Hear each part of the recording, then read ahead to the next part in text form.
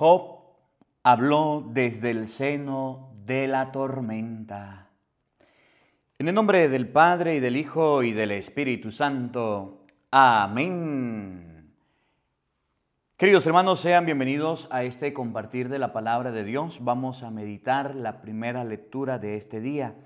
Hoy la iglesia recuerda a San Francisco de Asís un saludo cordial y una oración elevamos por todos los franciscanos en el mundo entero, las franciscanas que de manera especial por aquellos que están en Tierra Santa, custodiando los lugares santos. Vamos a orar por Oriente, vamos a orar por Israel, por estos países que están en guerra, por Irán, para que cesen los conflictos, para que Dios traiga la paz, por intercesión de San Francisco de Asís, quien custodió, cuidó, preservó y amó tanto los lugares santos. Vamos a orar por, por todas las personas que están enfermas, de manera especial por aquellos que cuidan el medio ambiente, quienes se dedican al trabajo del medio ambiente. Hoy vamos a meditar el libro de Job capítulo 38. ¿Qué hace el ser humano cuando le vienen las tormentas? Pues abre la boca, pues grita, pues expresa su dolor y su sentimiento.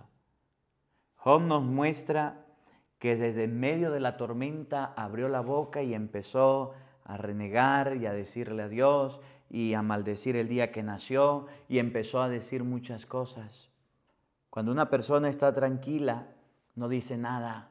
Hay algunos que son muy hablones, pero cuando le viene la tormenta y le viene el desespero, a veces dice cosas que no tiene que decir, se desespera, se angustia, no sabe cómo hacer. Hoy les voy a leer el Salmo número 27, 26, 27, un salmo que me encanta. Porque a veces cuando nos viene la tormenta, los problemas en la vida, no sabemos que debemos callar, no sabemos que debemos esperar, no sabemos que debemos eh, mantener la calma. Y nos ponemos bravos, molestos, abrimos la boca y expresamos cosas que no tenemos que decir. Y después los problemas se complican. Pero Job nos enseña que así como abrió la boca, en medio de la tormenta, cerró la boca y la paz vino y la calma vino. De eso vamos a conversar en esta lectura. Vamos a buscar todo la palabra de Dios. Les recuerdo, estamos leyendo la Biblia. Todos en este canal estamos leyendo la Biblia. El canal se llama Biblia para Todos. Ya comenzamos a leer la Biblia, ya comenzamos a leer la palabra de Dios.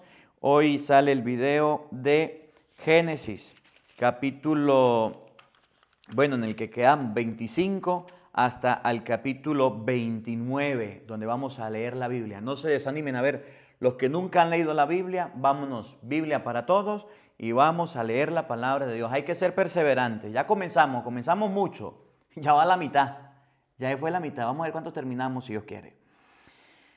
Lectura del libro de Job. En el nombre del Padre y del Hijo y del Espíritu Santo. Amén. El Señor le habló a Job desde el seno de la tormenta y le dijo, ¿acaso alguna vez en tu vida le has dado órdenes a la mañana o le has señalado el lugar a la aurora para que ciña a la tierra por los bordes y sacuda de ella a los malvados, para que ponga de relieve sus contornos y la riña de colores como un vestido? Para que prive a los malvados del amparo de las tinieblas y acabe con el poder del hombre criminal? ¿Has llegado hasta donde nace el mar o te has paseado por el fondo del océano? ¿Se te han franqueado las puertas de la muerte o has visto los portones del país de los muertos?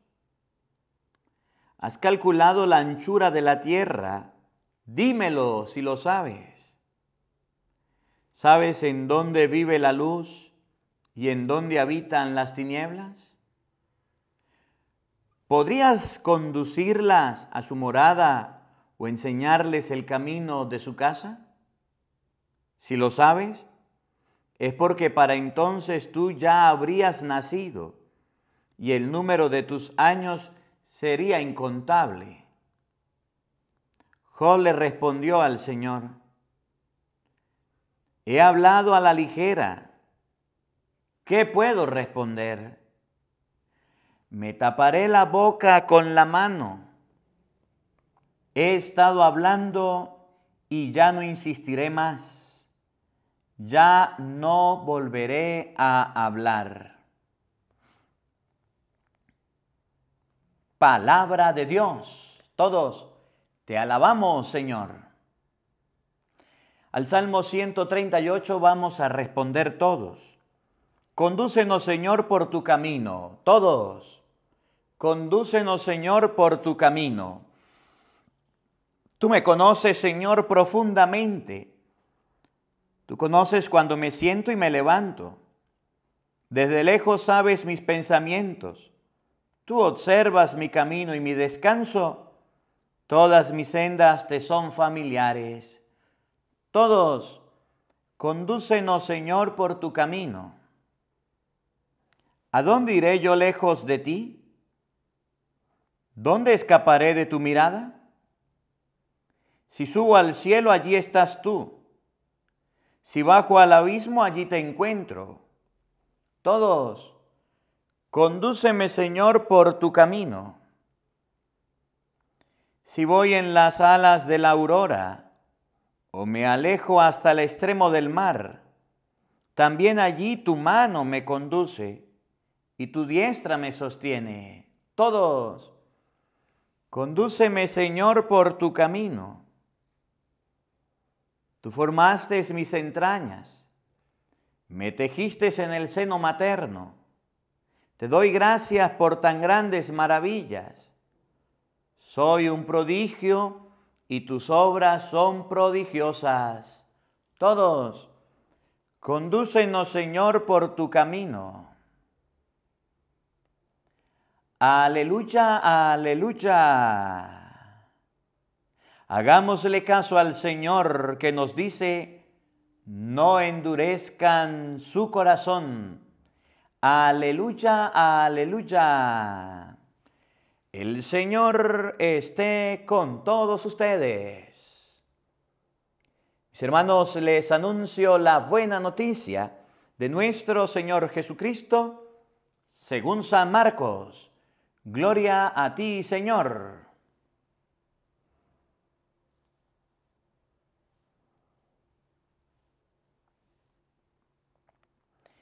En aquel tiempo Jesús dijo, Ay de ti, ciudad de Corazaín. Ay de ti, ciudad de Bethsaida. Porque si en las ciudades de Tiro y de Sidón se hubieran realizado los prodigios que se han hecho en ustedes, hace tiempo que hubieran hecho penitencia y cubiertas de sayal y de ceniza.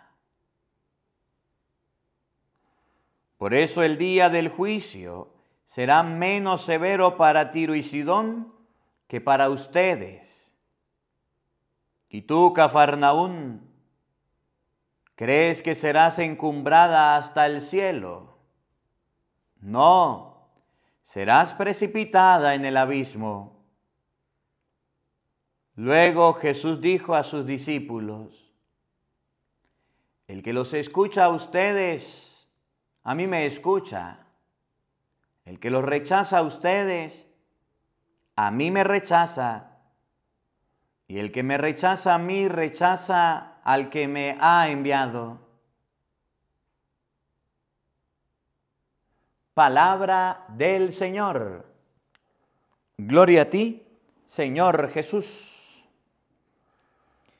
Queridos hermanos, invoquemos la presencia del Espíritu Santo sobre nuestra vida diciendo todos, ven Espíritu Santo, llena nuestros corazones de tu luz, de tu sabiduría, para interpretar tu palabra, no como palabra humana, sino como palabra de Dios que es en realidad y que ejerza su acción en nosotros los creyentes Amén. Buenos días, buenas tardes y buenas noches, queridos hermanos. Sean bienvenidos a este compartir de la palabra de Dios. Yo soy el Padre Marcos Galvis desde Madrid, España. Y vamos a meditar el libro de Job, capítulo 38. Hoy Job y la palabra de Dios nos enseña que nos van a llegar tormentas, pero después de hablar hay que mejor cerrar la boca. Y eso es lo que yo voy a hacer ahora, cerrar la boca. Que vengan las tormentas, ya ustedes saben lo sucedido, ya vamos a dejar, hay gente que está llamando, que está escribiendo mensajes a las parroquias, que está escribiendo cartas, haciendo videos. Primero, no los mandé. Segundo, no estoy de acuerdo. Lo que les estoy pidiendo es, vamos a hacer oración. No hagan leña del árbol caído por la situación que está pasando. Todavía tenemos la oportunidad de conversar y de compartir.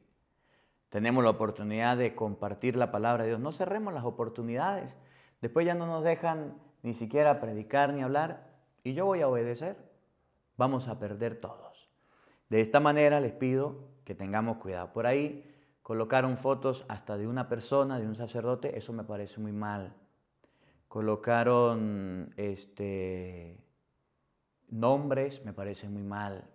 Dijeron que al Padre no le dieron la paz, me parece muy mal porque sí me dieron la paz. Que no la hayan grabado.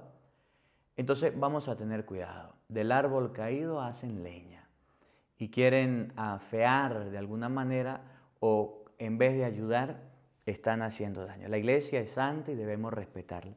Y aquellos que les gusta eh, criticar, hablar de los padres, de los sacerdotes, por ofenderlos y se aprovechan de, de esta circunstancia, deben tener mucho cuidado porque los sacerdotes son consagrados y debemos respetarlos.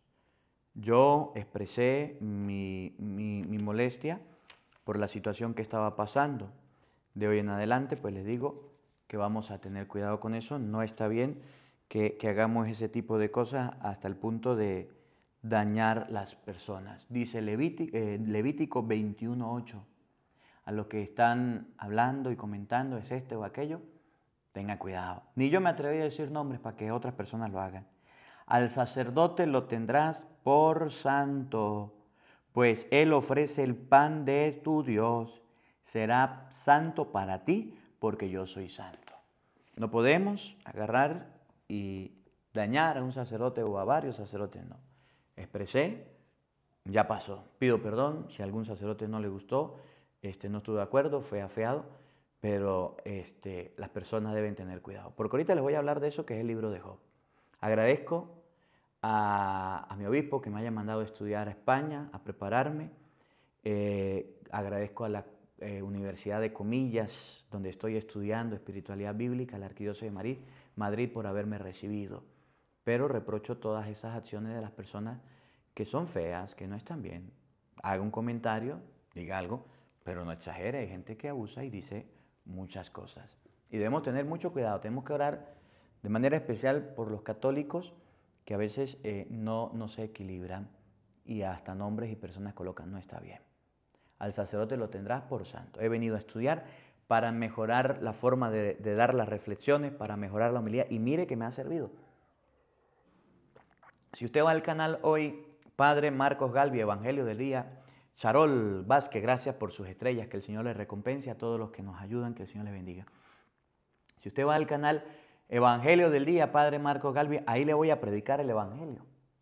Y ahí en ese canal vamos a ver qué fue lo que he aprendido durante estos días en, una materia que nos dan geografía bíblica. Que el pueblo de Israel estaba alrededor del lago de Galilea, el mar de Tiberiades, del lago. Y eran pescadores, por eso Jesús llamó a los primeros apóstoles pescadores, porque eran en esa zona. Y el capítulo 9 Jesús manda a los apóstoles a predicar, pero en el capítulo 10 Jesús manda a 72 a predicar. Y Jesús dice, ay de ti, Corazaín, ay de ti, Betsaida, ay de ti, Cafarnaún, ¿por qué se queja de esas ciudades? Bueno, porque estaban alrededor del lago y era el lugar donde Jesús estaba desarrollando su ministerio público. María González, que el Señor le bendiga, gracias por sus estrellas. Era el lugar donde la mayor cantidad de gente había observado la vida de Jesús, había observado los milagros de Jesús, pero eran los más grandes desagradecidos. Y era donde Jesús hacía milagros. En Cafarnaún había una sinagoga, había la sinagoga, eh, había un centurión que se convirtió. Ah, sucedieron muchos acontecimientos, hasta vivía la suegra de Pedro allá. Y Jesús se queja de ellos, de esas ciudades, que unos años más adelante fueron destruidas y llevadas a la ruina. Y Jesús nombra otras ciudades llamadas Tiro y Sidón, que están a la orilla del mar Mediterráneo, que eran lugares, eran puertos donde entraba el trigo, donde venía de Egipto y se distribuía a toda esa, esa región de Palestina. Y esas personas, esas personas, no se les podía llegar la palabra de Dios. Y, eso lo aprendí y lo vi en la geografía bíblica. Estoy aprendiendo mucho en las clases para ir mejorando las reflexiones. Aquí les predicaré la primera lectura. Allá les predicaré el Evangelio, de manera de que vayamos aprendiendo todos. Agradezco mucho esta oportunidad de la universidad para estudiar, para crecer. Pero vamos a tener cuidado y vamos ya a dejar los comentarios, vamos a centrarnos en lo que nos interesa, la palabra de Dios. No el chismorreteo, no, no esa habladuría, que llamo para allí, que llamo para acá, que voy a... Yo no estoy de acuerdo con eso. Si un momento le dije que estaba sucediendo, para que sepa que también a mí me toca vivir momentos difíciles. Blanca, gracias por su estrella. José, gracias por su estrella. Dios les bendiga. Pero no por eso dejaré de predicar, no por eso me voy a ir de la iglesia, no por eso me voy a apartar. Haré caso y obedeceré. Es mi mensaje. Pero tengamos cuidado, pues, porque ya las cosas se salen de la mano y después me van a, a reprochar a mí todas las circunstancias. Y debemos tener cuidado con eso. Los sacerdotes hay que respetarlos. Y esos que colocaron los videos, les invito a quitar esos videos porque están haciendo daño a los mismos sacerdotes. Ya el mensaje llegó, debemos tener cuidado, quiten eso. Bueno, el libro de Job capítulo 38 nos muestra que Job en la tormenta habla y dice, Job enseña en el capítulo 38 que si usted agarra una piedra y se machuca un dedo, a usted le va a doler y pega un grito que si usted va en el carro y alguien le cierra la puerta y le machuca los dedos, le duele. Que si usted se cayó y le dolió, usted se paró gritando, llorando porque le duele. Job manifiesta que cuando al ser humano le pasa algo en la vida económica, le pasa algo en su familia, con sus hijos se le muere un familiar, le pasa algo en su salud, se desespera, grita, zapatea, llora. Eso es normal. Que usted diga me dolió, que usted diga me afectó, que usted llore, que usted sabe, eso es un sentimiento del ser humano. Somos de carne y hueso, de venas y sangre y vamos a sentir todos al igual que Job.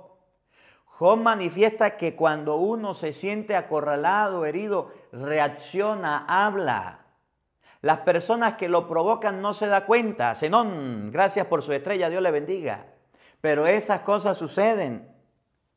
Pero una cosa es que a usted le suceda un aprieto, que a usted le suceda una desgracia, que a usted le suceda un problema, que a usted le venga una consecuencia grande y otra cosa es que se ponga a reprochar y a pelear y a insultar y a maltratar y a ofender y a echarle la culpa a Dios.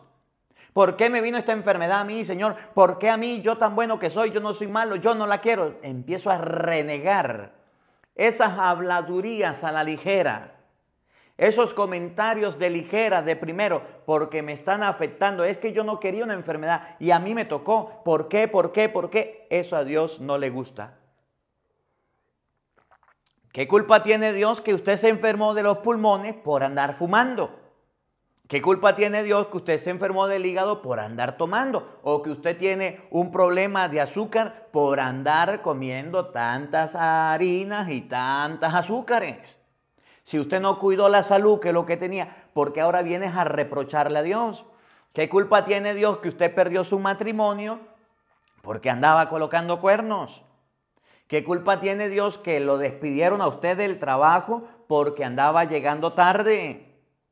¿Qué culpa tiene a Dios que usted vino una crisis económica en su familia, en su hogar, por un mal negocio, por una mala inversión, por un mal paso que usted dio en la vida? Dígame usted, ¿es culpa de Dios? ¿Por qué vamos a la ligera a reprocharle a Dios y a reclamarle y a decirle, Señor, esto es tu culpa? Señor, ¿por qué me pasó? Señor, ¿por qué a mí? ¿Por qué a mí? Y esa quejadera la tenemos con Dios.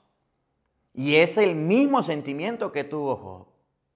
Pero es que yo no era así, yo tuve problemas y a mí me va bien en la vida y ahora, y dígame, se me ha muerto un familiar. Hilda Méndez, gracias por su granito de arena, el Señor le recompense. Se me ha muerto un ser querido, se desapareció, se fue, Dios se lo llevó. Oiga, todos los seres humanos no vamos a morir. En la tormenta, ¿cómo actuar? En la tormenta, ¿qué hacer? En los desesperos, en los momentos de contrariedades, nosotros lo primero que hacemos es hablar y decir las cosas y debemos aprender a callar. Puede ser que nos estén afectando, puede ser que nos estén doliendo. Digamos, me estás haciendo daño, me está pasando un problema, una dificultad y ya. Debemos aprender a guardar silencio. Y Job termina la primera lectura diciendo, he hablado a la ligera, ¿qué puedo responder? Me taparé la boca con la mano. He estado hablando y ya no insistiré más, ya no volveré a hablar. Keiter, gracias por su estrella, Dios le bendiga. En la vida a veces hay que aprender a callar, hay que aprender a guardar silencio. Ya hablamos, ya dijimos, ya comentamos, ya lloré por el muerto, por el familiar que se murió. Ya sé que estoy enfermo, ya me quejé, ya me lamenté, pero no me voy a quedar tendido en una cama. No me voy a quedar ahí tirado y llore, que llore, llore y, sufra, que sufra, sufra. Esa enfermedad podemos sacarla adelante, podemos llevarla adelante.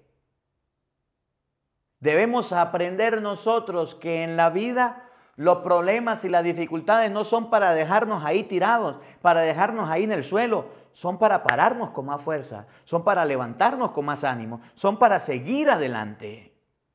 Job dijo, ¿de qué me sirve a mí hablar y decir las cosas? ¿De qué me sirve a mí expresar que estoy sufriendo y estoy padeciendo? Todo el mundo se está dando cuenta, todos lo saben. Miran las desgracias que me pasó a mí. Mejor me callo y espero y confío en las manos de Dios. Espero y confío en que Dios me ayude. Espero y confío en que el Señor me socorra. Ustedes van a ver mañana cómo Job empieza a pedir perdón por las cosas que hizo. Empieza a pedir perdón por las cosas malas, por las cosas malas que sucedieron. Y ustedes se van a dar cuenta cómo la otra semana Dios empieza a bendecirlo.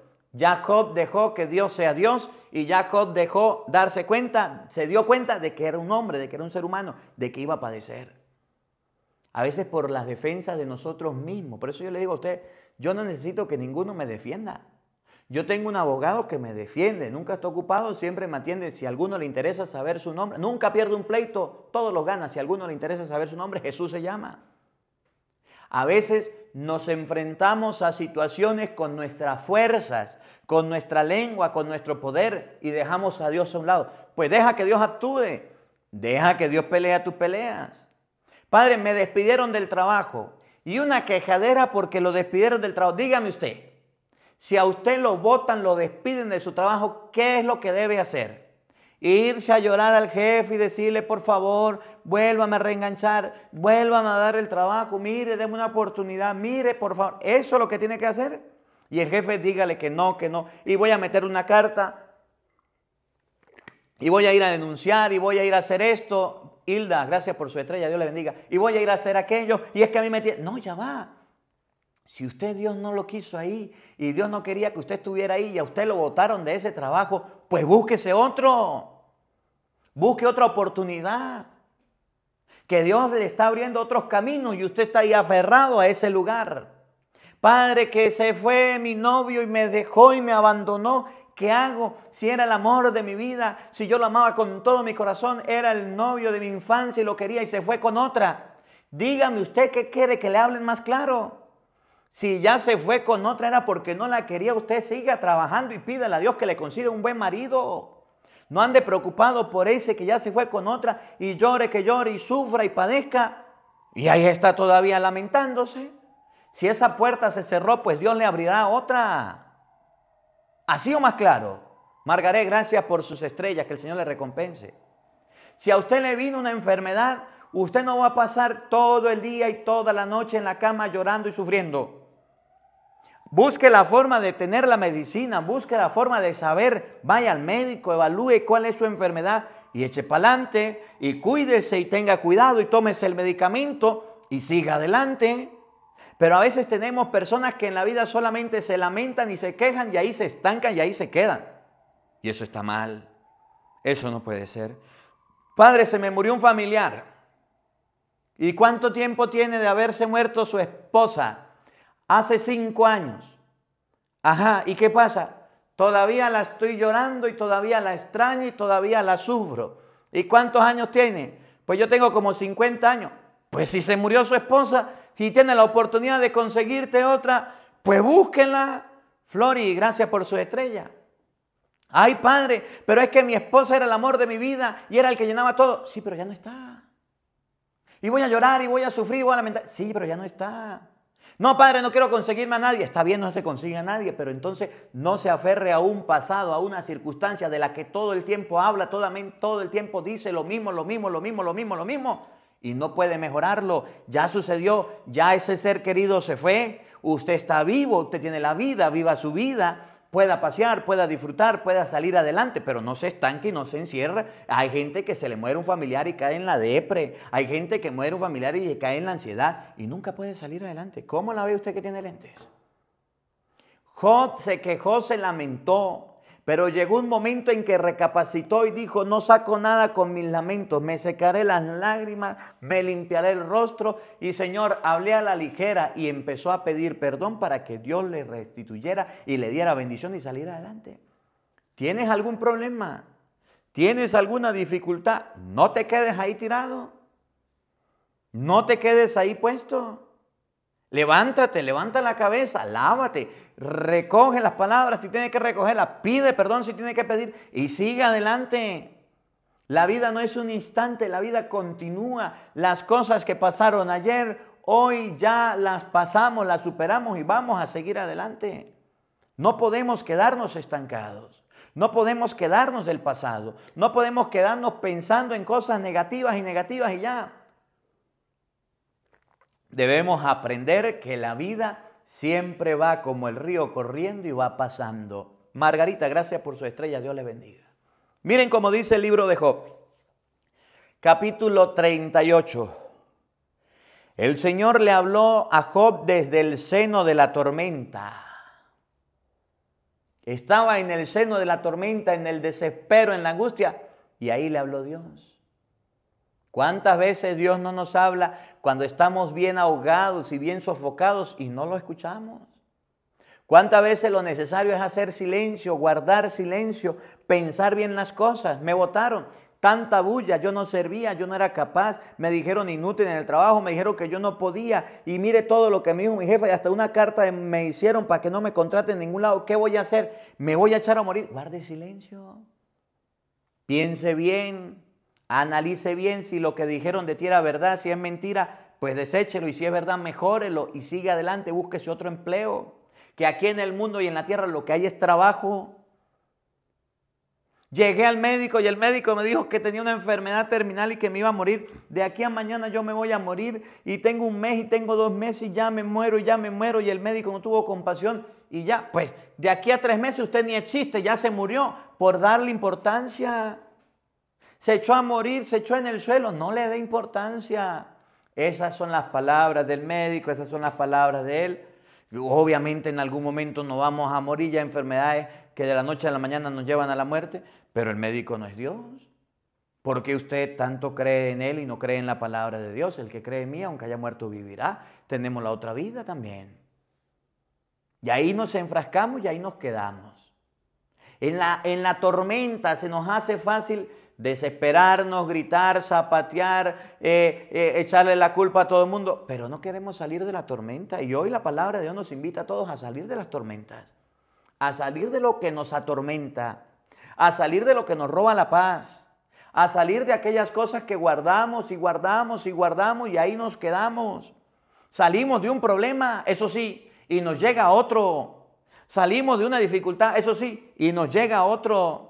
Salimos de, un lugar feo, horrible, donde sea que nos encontremos, y vamos a caer en otro. Eso es parte de la vida. No le pidas al Señor que te quite los problemas, que te quite las tormentas, que te quite las dificultades.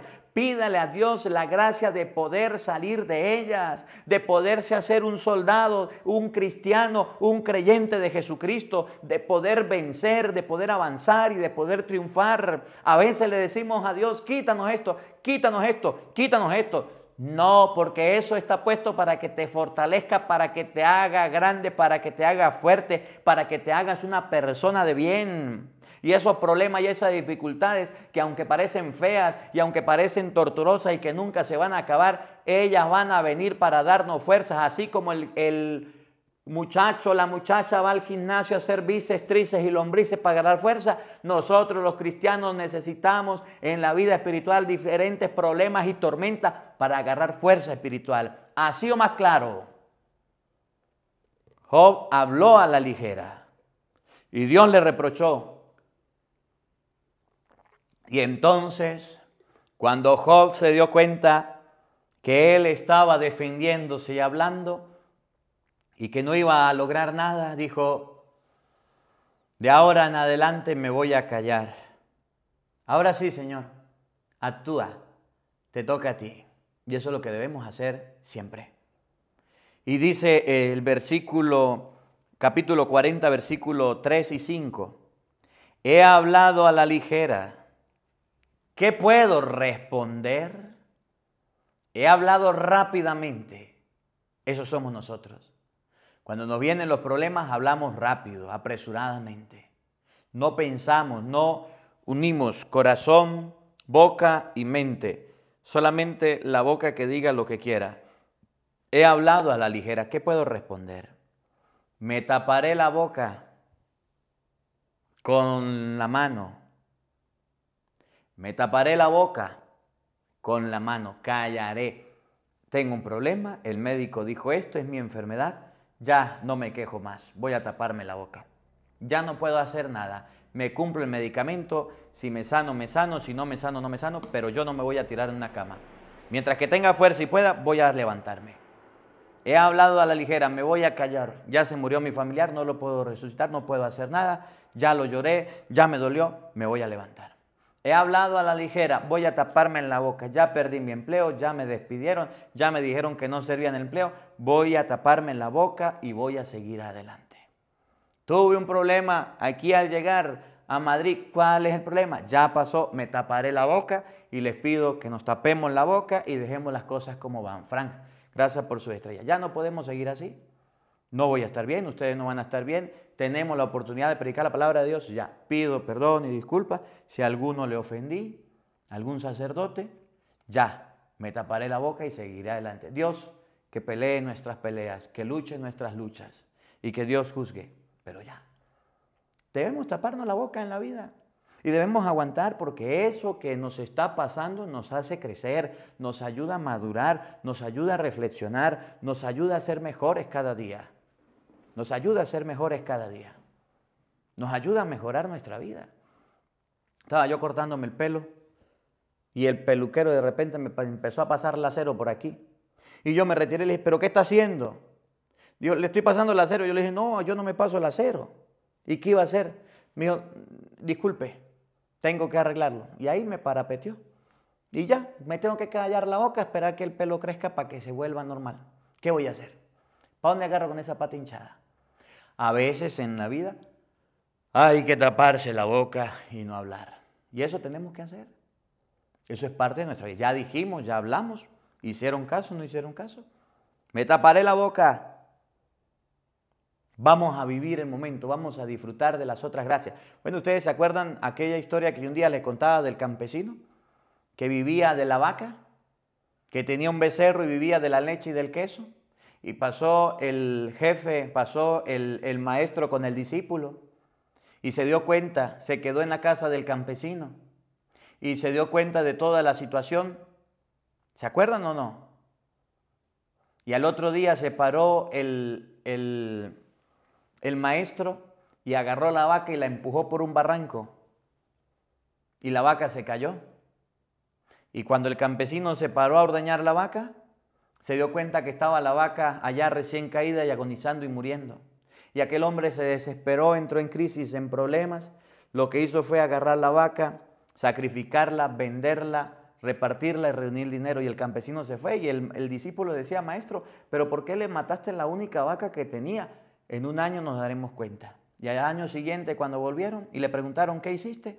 Empezó a contar el campesino la historia. Vendí la vaca, agarré dinero, compré herramientas, traje al campo, empecé a venderlas, me fue bien, fui a comprar más herramientas, ahora tengo un lugar de venta de herramientas.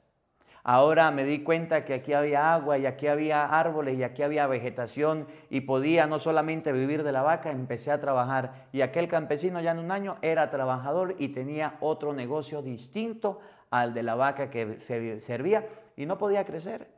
A veces nos hace falta que esa vaca se caiga y a veces nos hace falta que esos problemas lleguen para descubrir realmente de qué estamos hechos y cuáles son las virtudes y dones que Dios nos regala. A veces nos hace falta los problemas en la vida, no los corra, no los ahuyente, téngalos ahí presentes, no le pida a Dios que te los quite, dígale al Señor, si me dan los problemas, dame la fuerza para seguir adelante. Me callaré la boca. He estado hablando y ya no insistiré más. Ya no volveré a hablar, ya no volveré a quejarme, ya no volveré a decir más nada. Escuchen a Job. La historia de nuestra vida.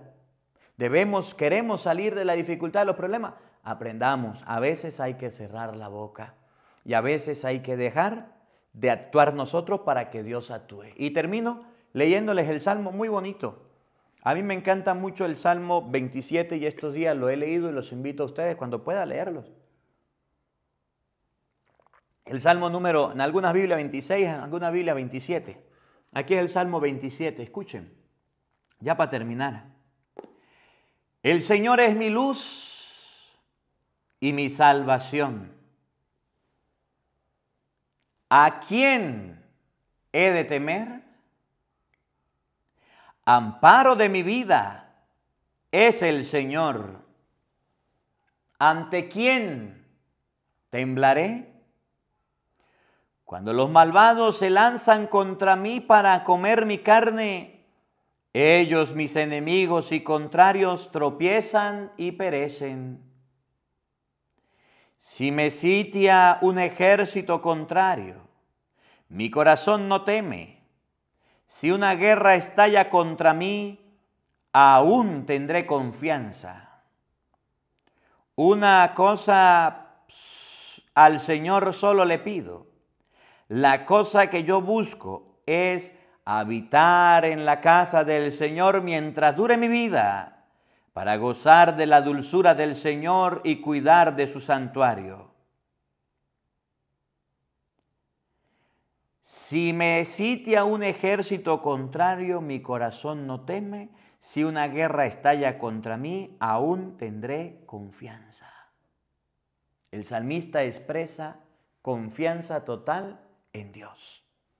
Vendrán tempestades a tu vida espiritual, a tu vida matrimonial, a tu vida económica, a tu vida familiar, a tu vida en el trabajo, en el estudio, donde sea.